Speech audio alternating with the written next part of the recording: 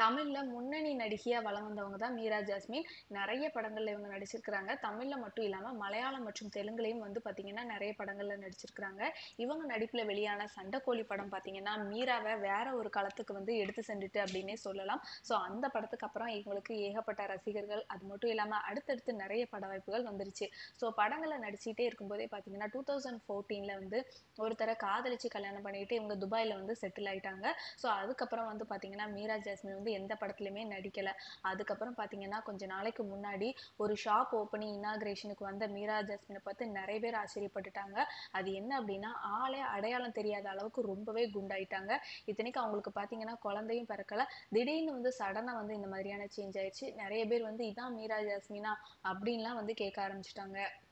அதுக்கப்புறம் பார்த்தீங்கன்னா இவங்களோட கல்யாண வாழ்க்கையை நிலைக்கல அப்படின்னே சொல்லலாம்.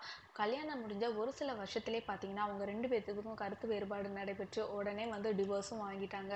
ஸோ டிவோர்ஸ்க்கு அப்புறம் பார்த்தீங்கன்னா சினிமாலேருந்து ரொம்பவே விலகி இருந்தாங்க. அதுக்கப்புறம் இவங்களை வந்து பெரிய அளவில் நம்ம பார்த்துருக்க மாட்டோம்.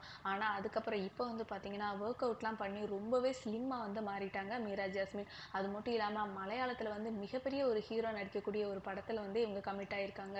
ஸோ அது வந்து மிகப்பெரிய டேர்னிங் பாயிண்ட்டாக இருக்கும் அப்படின்னு சொல்லி மீரா ஜாஸ்மினே நம்புறாங்களாம். ஸோ அந்த அளவுக்கு பார்த்தீங்கன்னா இந்த படத்தை வந்து எக்ஸ்பெக்ட் பண்ணிட்டு இருக்காங்க. ரெண்டு வருஷத்துக்கு முன்னாடி பார்த்தீங்கன்னா ரொம்பவே வெயிட் போட்டு ஆளே அடையாளம் தெரியாமல் மாறி போயிருந்த மீரா ஜாஸ்மின் இப்போ வந்து பார்த்தீங்கன்னா அப்படியே ஆப்போசிட்டாக வந்து ரொம்பவே அழகாயிருக்காங்க. ஸோ சண்டைக்கோழி படத்தை பார்த்ததை விட இப்போ ரொம்பவே க்யூட்டாக மாறிட்டாங்க மீரா ஜாஸ்மின்.